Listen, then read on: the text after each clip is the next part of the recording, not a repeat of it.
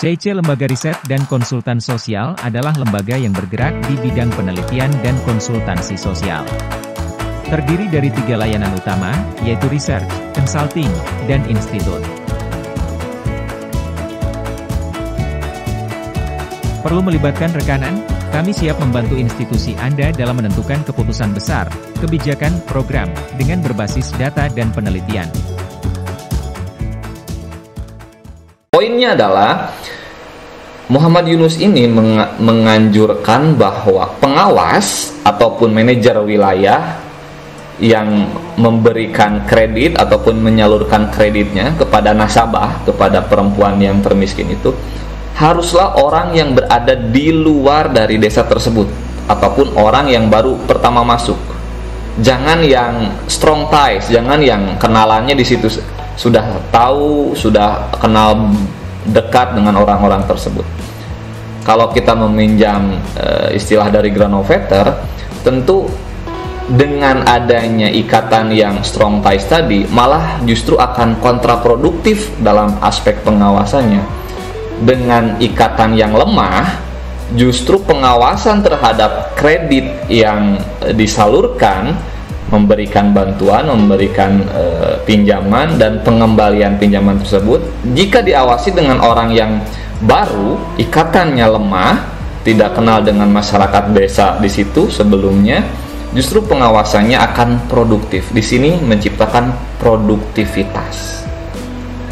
Tentu yang tadi saya sebutkan e, e, adalah kegiatan non ekonomi ya. Bagaimana e, apa namanya? Uh, aspek jaringan, di situ ada ikatan lemah, itu kan kegiatan non ekonomi, justru berpengaruh terhadap produktivitas ataupun hasil dari ekonominya sendiri, pengawasan. Pengawasannya akan baik, akan produktif.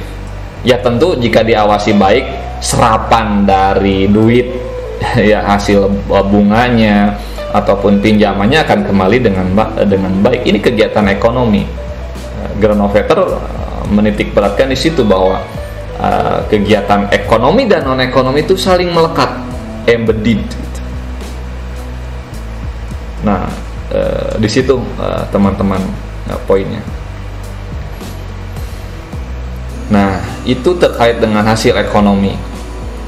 Uh, pun misalkan contoh yang lainnya agak melompat saya kepada yang price tadi Uh, ini contoh yang menarik yang pertemuan sebelumnya uh, sudah dibahas bahwa uh, justru uh, ada yang disebut sebagai apa ya rongga struktural.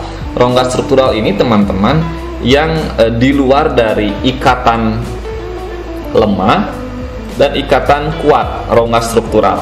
Sini nih yang kemarin saya menggambarkan seperti itu bahwa justru ada bridging ya dari ikatan yang lemah ini. Kenalan dengan kenalan.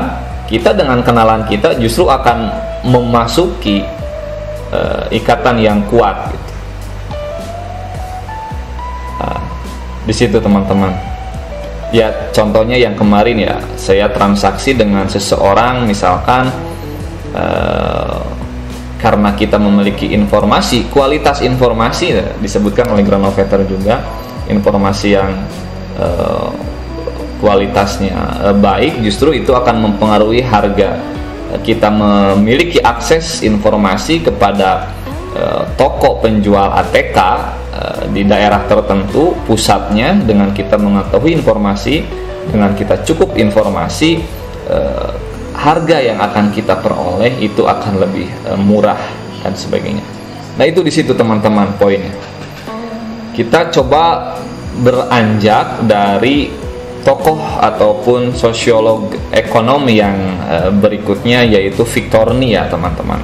Tadi saya memberikan bahasan di awal terkait dengan Granovetter dan juga uh, Firborzu. Kenapa demikian? Bahwa teman-teman Victorni ini sebagai sosiolog ekonomi ya, profesor uh, sosiolog ekonomi dari Cornell University profesor sosiologi ini yang mendalami uh, sosiologi ekonomi di Cornell.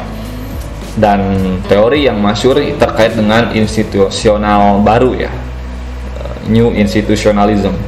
Bahwa uh, konsep yang ada di dalam Victorni tersebut dipengaruhi juga oleh eh, Granovetter dan Virbordu walaupun saling mengkritik satu sama lain suatu hal yang biasa ya teman-teman. Ada tesis ada antitesis dan antitesis lainnya. Victor nih saya mencatat di sini eh, terinspirasi dari eh, konsep kemelek kemelekatan aspek eh, ekonomi dengan non ekonomi dari Granovetter dan juga Victor nih melihat ataupun fokus pada feel ataupun juga arena dari uh, Bordeaux. Victor nih fokus kepada uh, feel arena dari Bordeaux. Nah, hal yang menarik nih teman-teman uh, ada apa ya istilahnya tuh uh, arena feel. Saya berangkat dari arena feel arena ini kan uh, ataupun field ya field itu arena kontestasi di mana di situ ada aktor negara, ada aktor uh, swasta dan ada aktor masyarakat itu sendiri. Bahasan yang sebelumnya saya menjelaskan bahwa uh, apa ya sebelum ke situ bahwa Victor ini menganggap negara aktor negara di dalam kontestasi tersebut termasuk aktor internal ya teman sedikit-sedikit teman-teman jadi Victor ini lebih lebih uh, relatif mengamini bahwa peran negara itu uh, cukup besar. Sehingga tidak heran ketika misalkan ketika kita berbicara agensi nah ini mungkin uh, pertemuan sebelumnya kurang terlalu didalami ya. Agensi dengan agen itu berbeda teman-teman. Agen itu lebih kepada aktor ataupun uh, individu ya begitu juga dengan kelompok. Sedangkan agensi itu dimaknai sebagai social skill ataupun kemampuan sosial. Kemampuan sosial untuk apa? Untuk merubah struktur